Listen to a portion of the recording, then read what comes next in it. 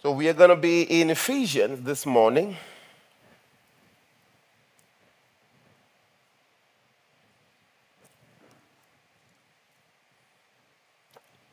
You know, I've been thinking about battles and, and, and fightings and war. I love war movies, especially the ancient movies. You know, these warriors who are really, if they make a commitment to go out there for, for a fight, it's a real fight. It's not just an idea of, you know, I think I can go out and perhaps I can do something with my life out in the field. These are people who are making a commitment that whatever would come out of this, I am willing to take the challenge. I am willing to go fight. And if I die, it is a honorable death, right? And many people are not like that.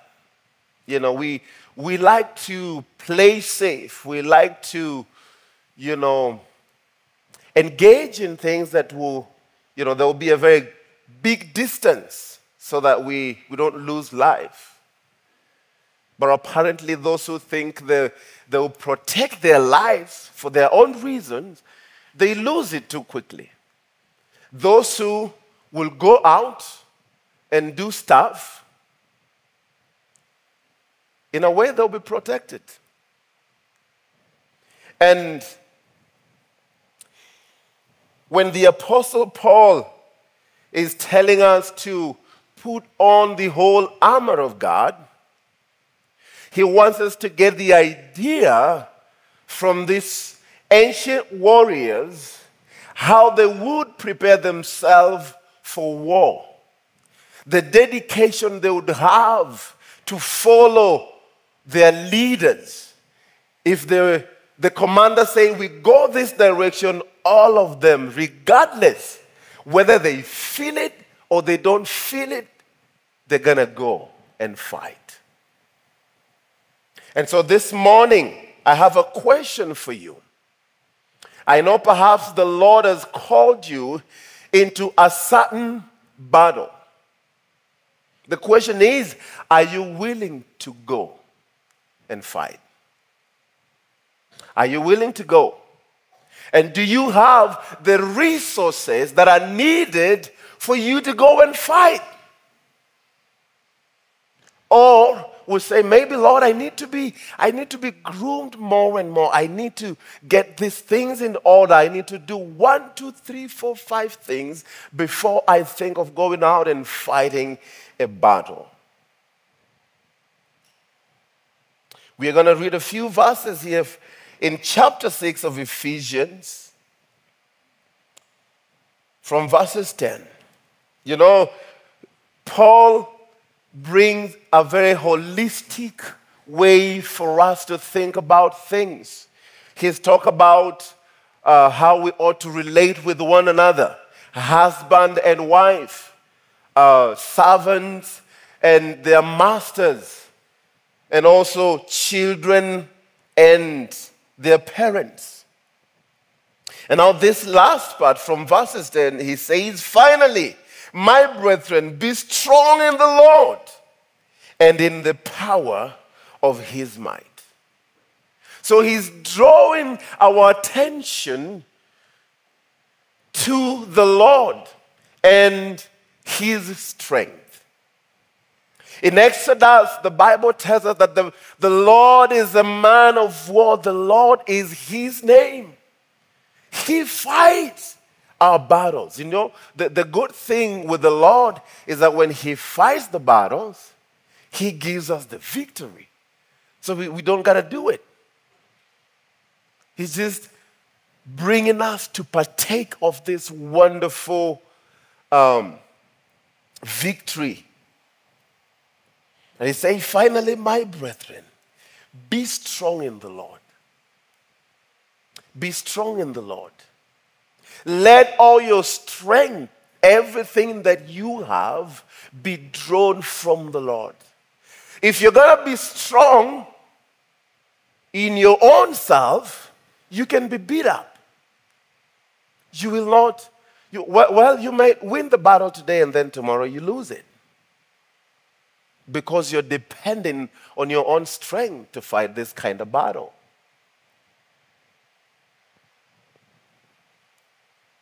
Be strong in the Lord.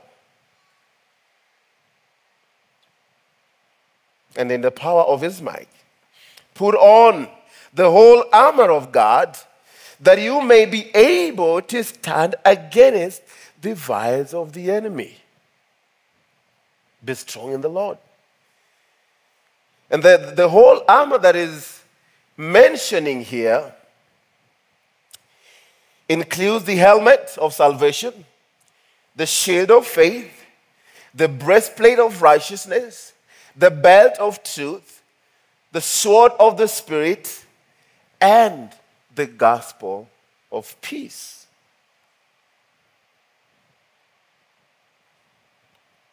Put on the whole armor of God, that you may be able to stand against the vials of the devil.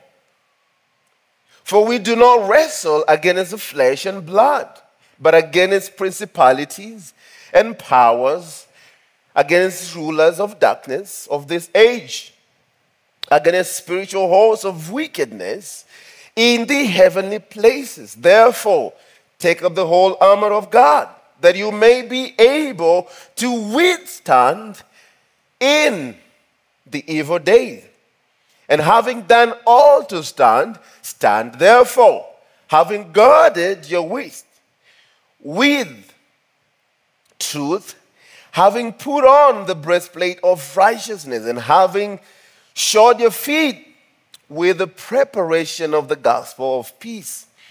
And above all, taking the shield of faith, which you'll be able to quench all the fiery darts of the wicked one, and take the helmet of salvation and the sword of the Spirit, which is the Word of God, praying always with all prayers. Now, Paul is calling us to stand, but also he's helping us to know how we ought to stand. Maybe, you know, we, we have images, we have seen all this, we have gone through this many times. But I think we need to remind ourselves because as a people, we forget too soon. We look at the mirror, and as soon as we're out, we forget. Is it possible to forget how your hair looks like? Is it possible? Maybe, because we want to confirm every time, right? Even when you're walking down the street. And, you know, we have this building with glass doors or windows, like, I still got it. we just want to check it out. We just want to be sure about ourselves. we are so much full of ourselves, looking at ourselves and, you know, admiring ourselves. And man, isn't it pathetic at times to just sitting back and thinking about what you were thinking about. It is just you, you, and yourself. You're not thinking about in people. Even when you look at a group photo, right? you look at a group photo, who do you want to find first? If if you don't look nice on that photo, then the whole thing is bad. If you look nice in the photo, it's like, send me that. I want to keep it because I look nice. We have a problem, friends. Not thinking about what the Lord has done for us, just busy, busy thinking about ourselves because we are so full of ourselves. And even sometimes when people say, you know, oh, I, I want to speak from my heart, You, you got to be careful what you want to say. But, anyways, Paul is telling us to get the whole armor of God. Because there's a battle. Because there's something going on. Even when we don't see it with our eyes, we don't feel it at times. But the truth is, there's a battle going on. In the spiritual realms, there is a battle going on, and we fight daily. You remember Daniel in Daniel chapter 10? Praying and praying and praying. The answer is released, but he, he's not interacting with it yet because there, there are principalities and powers in the heavenly places. And the enemy knows for sure, as we've been told here in the pulpit, that God did not create hell for people, but people will end up in there. It was made for Satan and his angel, the fallen angels. But the enemy doesn't want to go there alone. He wants to drag people with him. And so you will find yourself, you know, you fall short of the glory of God. You're in sin today and you feel condemned and you're remorseful about it. And you know what the enemy will do? Because he knows that God hates sin. And what he does is reminding you of what you did. God hates sin, right? But you did sin. So he wants you to be condemned so that you will continue in your sin. Continue being broken. Continue living in that sin. That is what he wants for people. But Paul says, get the helmet of salvation. You know, you, you can be prepared in every challenge by making sure that you are a person sharing God's truth. This includes sharing the gospel news about our Lord Jesus Christ, why you believe in him, what he's done for you. Has the Lord done things to you? Of course, I know he has done things. He's done wonderful things to me. And Paul is saying, as we are sharing this gospel, we are continuing to stand firm in Christ because we are sharing. Have you noticed that the more you do something, the more you get more acquainted with it, right? The more you practice something, the more you become good at it. Whether it's a sport, whether it's public speaking, whether it's playing music, whether it's whatever it is, you become better at it when you practice. The more you share the gospel with people, the more you get more comfortable. You know, we have a group that goes out every week, Wednesday and Friday, to share the gospel with people in the street. When they first began, it was like, hey, what, what am I going to say to people? What, what if they don't, you know, listen to me? What if they just kick me out? What ifs? We have a lot of what ifs. What if? What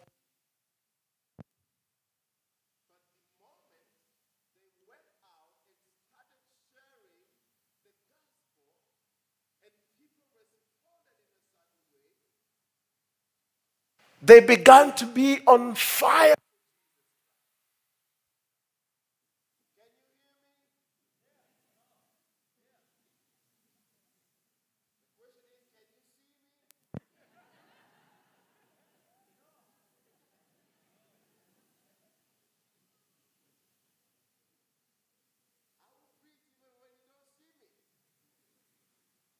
You can hear me.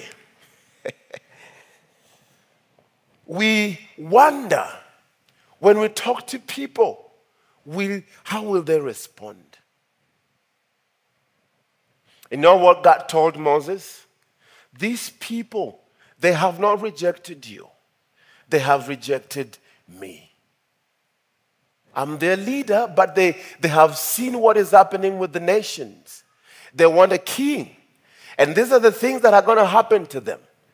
They're going to be taxed heavily, they're going to pay a lot of taxes. Their daughters would go and be, you know, they'll be employed in the, in the palace and be cooking. Their sons will be the guards. And all these things are mentioned to warn them, but they say, we want it anyways. We don't want God to lead us. We want to lead ourselves. We want a man. And God said, They have not rejected you, they have rejected me. You will share the gospel. Perhaps many will reject the gospel message, some will accept it. But what a joy to share what God has done in your life. You know, you, you, that is the truth. What is done cannot be edited.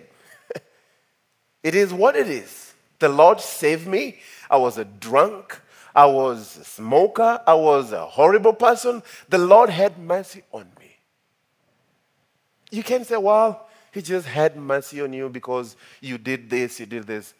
There was nothing in me that could have drawn Him. But He came for me, He died.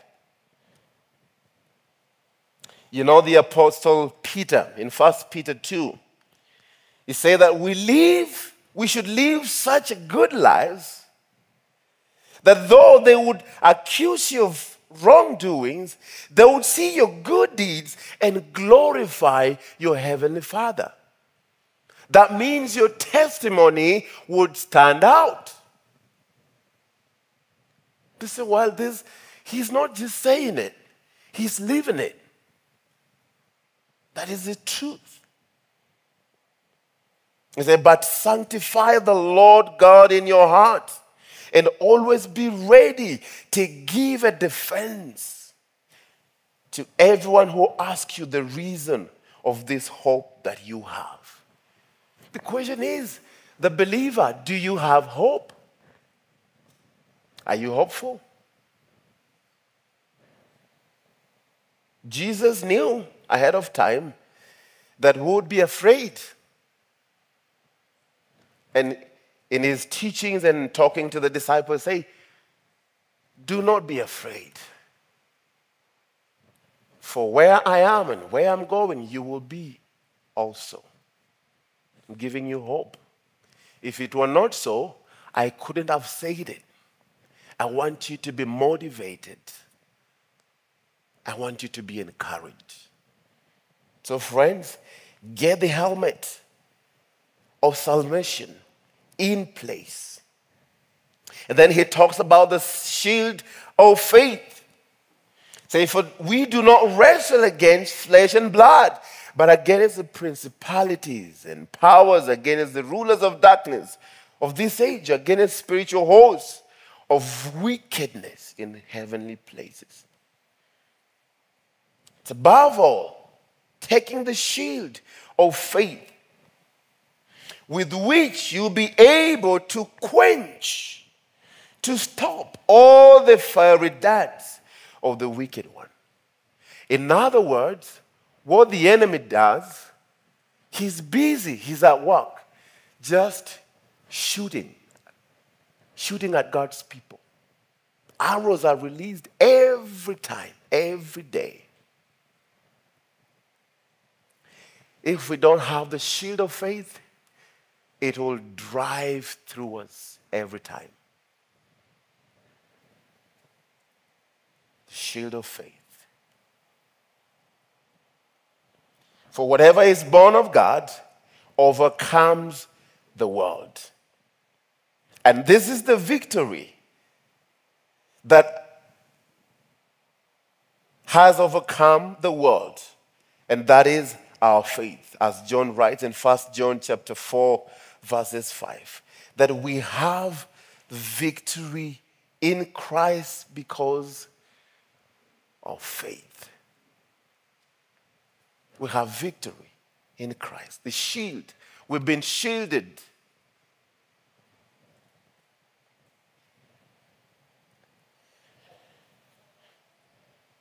You know, having it actually indicates that there's a battle going on. There's something happening that we need or we ought to stand against every time. It says there in Hebrews chapter 11, verses 1. Now faith is the substance of things hoped for, the evidence of things not seen. It is evidently there. We can just see it with our eyes. But then,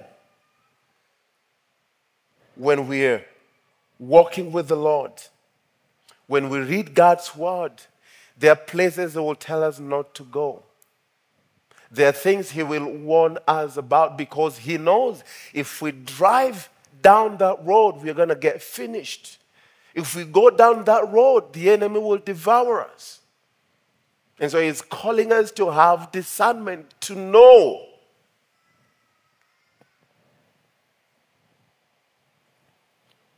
For we walk by faith, not by sight.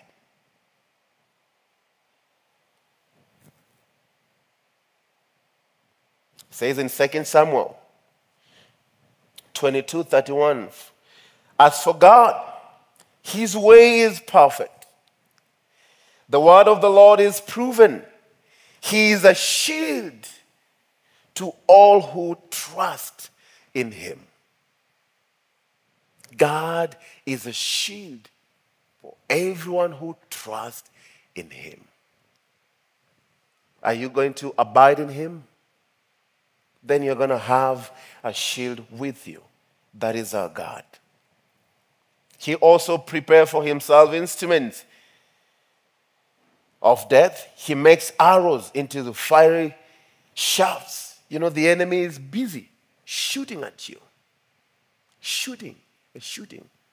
But if the Lord is our strong tower, if the Lord is our protection, whom shall I fear?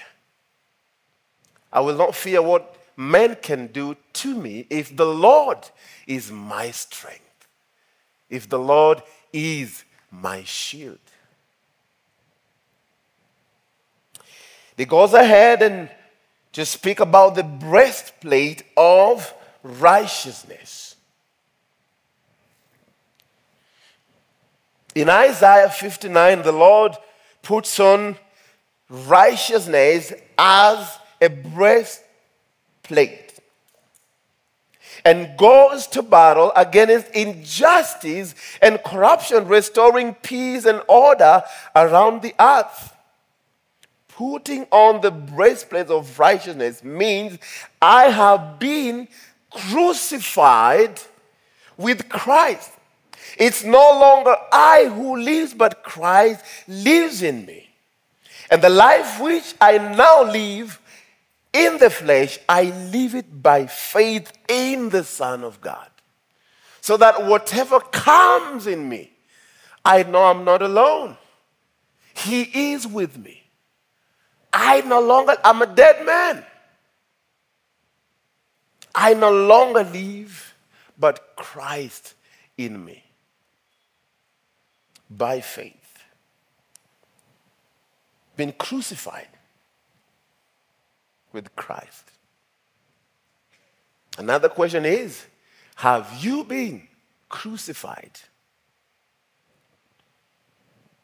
with Christ? Have you forsaken all these things? and followed Jesus Christ? Do you recognize Him as your Lord and Savior? Is He your Lord?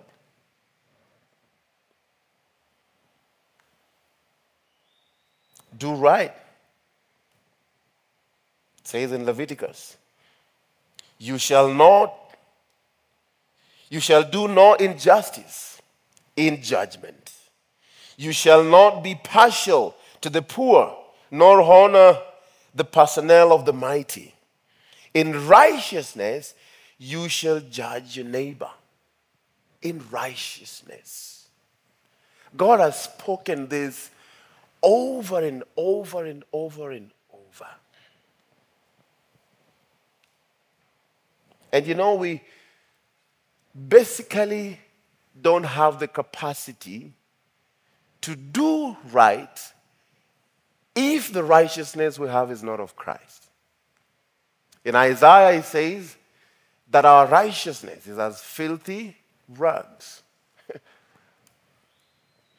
Even in your very best day, you're wrong. Even in your best, you're not able to earn your way. So we got to depend on God. We got to depend on Him.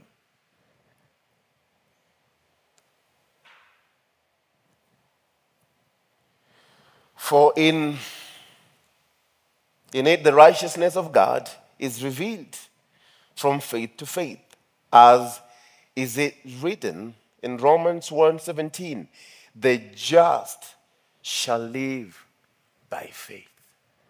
The just shall live by faith. It goes on to speak about the belt of truth.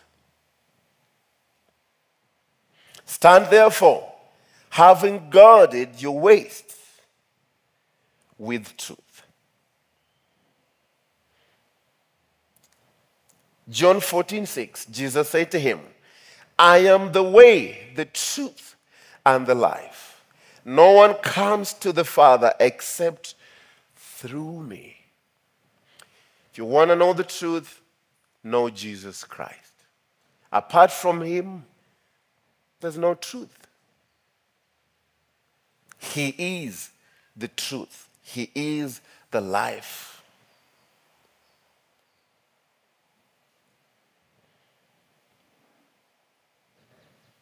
These warriors, whether the ones we have seen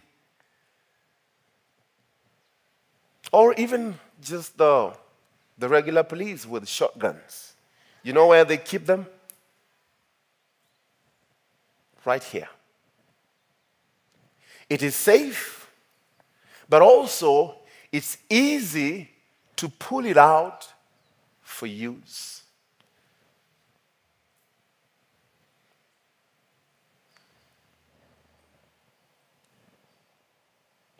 Stand therefore, having guarded your waist with truth.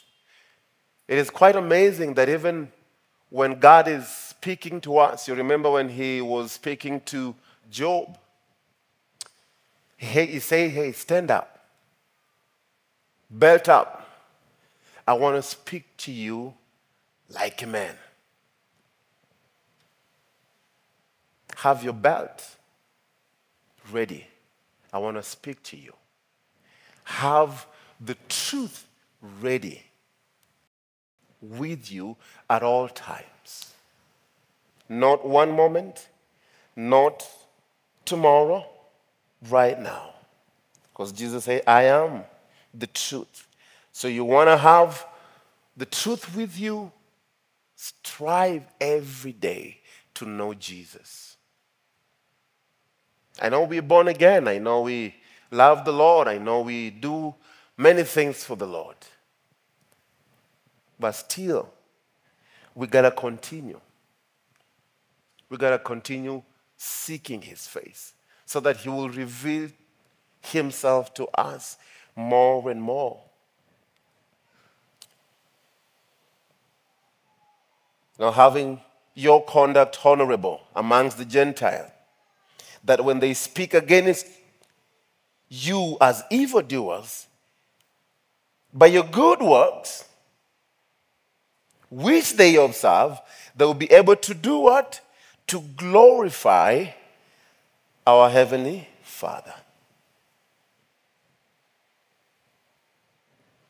how would you be able to do good things of the Lord without having Him as your truth?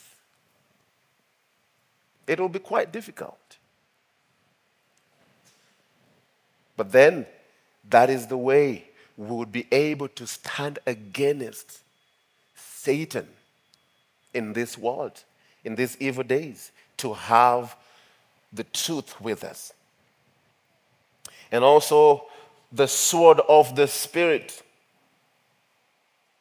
The sword of the Spirit, which is the Word of God. Praying always with all prayers and supplication in the Spirit, being watchful to this end with all perseverance and supplication for all the saints. See, the gospel gives us the assurance that God is with us. Because I'm not going to speak about myself out there. I'm going to share the good news of Jesus Christ.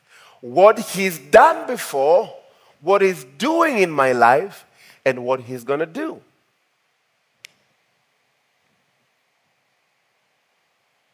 The sword of the Spirit.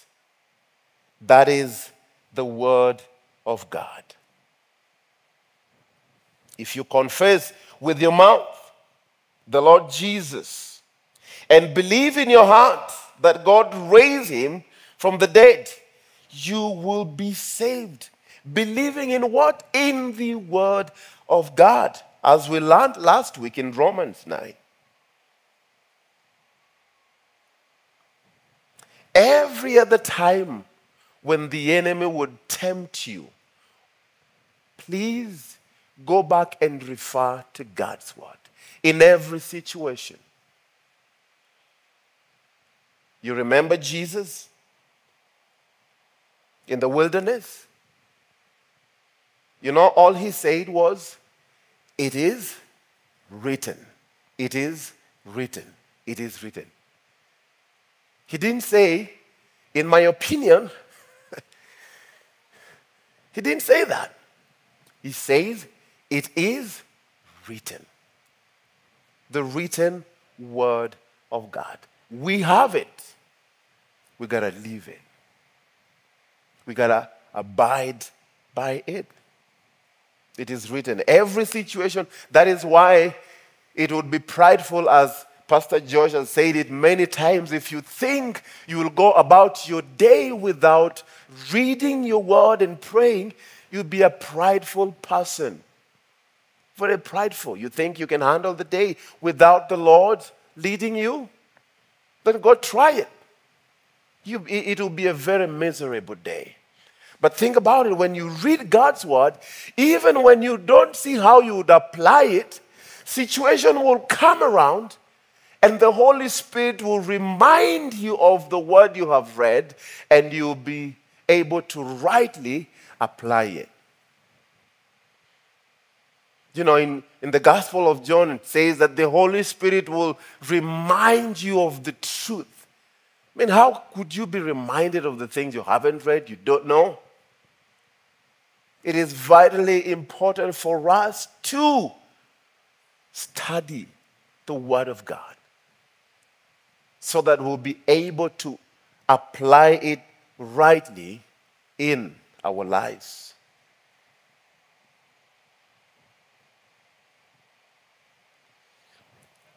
And then he talks about again the gospel of peace. Having shod your feet with the preparation of the gospel of peace. You know, by getting the sword of the Spirit, by reading God's word, you're actually getting yourself ready with the gospel of peace. After it is a must in you, after you get it, you know what you need to do? You get out, you go. Jesus sent us. Say, Go ye into the world. Preach the gospel teaching them to observe the things I have taught you. So as you go there, you're going to teach people to observe the word of the Lord, to consider God's word in their daily lives. Consider it. The gospel of peace is the good news that now, through the death, burial, and the resurrection of our Lord Jesus Christ, we now have peace with God. Now we can go to God's throne of grace and confess our sins. And God the Father, through the Son, Jesus Christ, will forgive our sins and cleanse us from all unrighteousness. We have now the confidence to go through the throne room of God.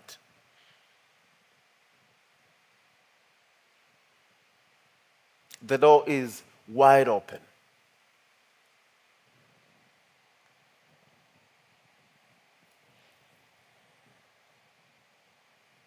You know, according to 1 Thessalonians 5:13 and John 13 also, the Lord God wants us to live in peace and in unity with one another. The Lord our God is love. He's given us His joy and peace and wants us to know that we can have this and also share with other people. You don't get it and get stingy with it. You get it and you share it. And for those who have made it a point to always share, man, the Lord has graced them abundantly with the wisdom. They share it with people, God showers them with wisdom. Gets out and the Lord fills it. The Lord fills it. The Lord fills it every other time. You'd be wondering, you know, why, why is this person always wise? You know, the things they say, how they conduct themselves, it's pretty different. You know how we know it? Because they walk with the Lord, they practice what they preach. They get a hold of God's word and they go and let it out to the people. Wisdom. So we have peace with God. If He's been merciful to us, then we ought to also go and share with other people. Have the gospel of peace. And you know, as you, you know, he says we prepare ourselves, he also gonna say that also pray for me that I would have the boldness to speak the way I ought to. I want boldness. He's already been bold, we know that.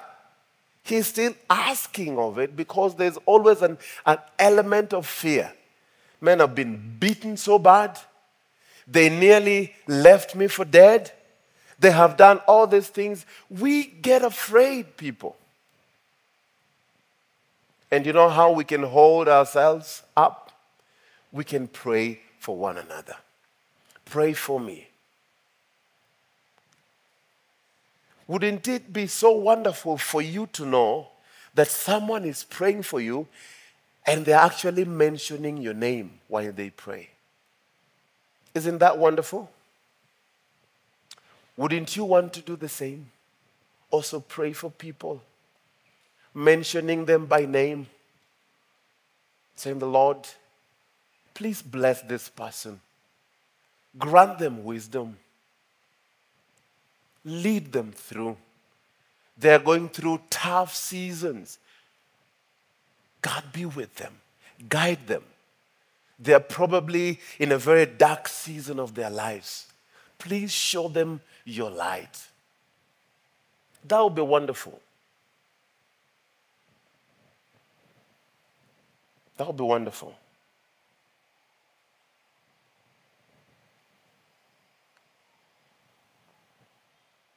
And it is my prayer, and probably also your prayer, and that our Heavenly Father would help us to put on this armor so that we can be able to stand against the schemes of Satan. For our struggles is not against flesh and blood, but against the rulers, against the authorities, against the powers that are in the heavenly places. The Lord is merciful, and He is calling us to be strong. He's calling us to be strong in service. Has the Lord called you to serve in, in, in any way? Maybe it's in your house. There is service in your house. There is service in the marketplaces. There is service here at church. Whatever the Lord has called you to, be strong in that service. Be strong in suffering. Because suffering comes our way. We don't apply for it, it shows up. But when it does come, the strength from the Lord would help us go through. And also strength when we are in the middle of this battle. The Lord has promised to be with us until the end of time.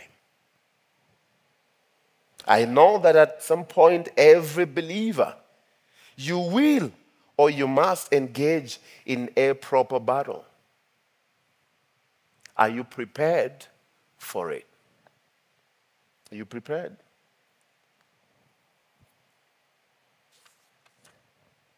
Our duty is to take the whole armor, put it on, so that we'll be able to stand and to withstand the fiery darts of the enemy. I don't know what you need strength for this morning. Whatever you need strength for, the Lord will provide a means and ways as I bring the worship team to come. He's so merciful that He's given us His word and His Spirit to lead us. He's called unto us to ask for wisdom for everyone who lacks it, for I know we all do. And He gives us protection also from the enemy. We know that the Lord is in control of everything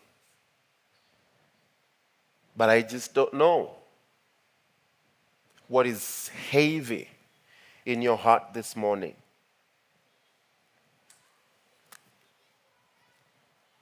Maybe it's your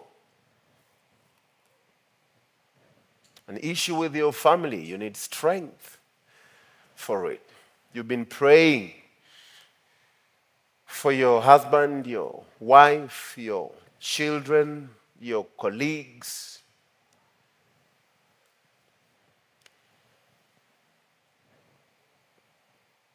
You need to go there in strength, but not your own. God's strength. He's able. We serve a God who is able to deliver us from all this situation that seems hard. And He's just waiting for us to say, Hey, Lord, uh, actually, I'm not able to do this. I need your strength. I need your guidance. I need your spirit to lead me. Without you, this situation is not going to be possible. So, Lord, I need you. Maybe let's take a moment, a minute, and bring all those things to the Lord. Those things that are so heavy to you, the things that you've been praying for. You know, sometimes the Lord would heal us instantly. Sometimes He will send us to the river to get the mud in our eyes to be healed. He is God, He's all knowing, He's all powerful. Maybe you prayed for it for a week, a month, years. The Lord knows it. Be rest assured that He knows it. Do you have any hope? Let it be upon the Lord Jesus Christ.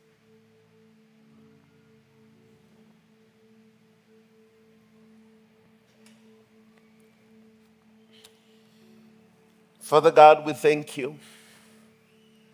We bless you for your word that is all powerful.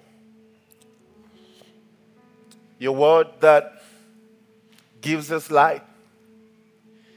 Your word that has resurrected and bring us uh, bring our dead bones to life. In our circumstances and in our situations, you, you know them all. We cannot hide anything from you. And I pray right now for people who are burdened with various issues, weight in our hearts, in our minds. We are troubled. I pray that through the strength that we receive from your word, that we'll be able to stand. Even when the enemy is throwing a lot of things to us, I pray that through your spirit we'll be able to stand. Those who are praying for their loved one to get born again, I pray that as your word has told us to be ready with the gospel of peace. I pray that you will open doors for us to do so. I pray that you will lead us even to those people that we don't know, but you know that they need you, that will be able to discern, will be able to know how to share the gospel with them. And God, we thank you. We bless you for blessing us, Lord. We are blessed abundantly. We have your peace because we are redeemed by your blood. Thank you, God. Everyone who needs you this morning, I pray that you come to our rescue. Holy Spirit, I pray that you you be poured upon us, all of us that we'll be able to do what you've called us to do. As we also serve you with our offering, as we have purpose in our hearts to give to you, I pray that it will give a glorifying percentage that your name will be glorified. So we bless you and we thank you in Jesus' name. Amen.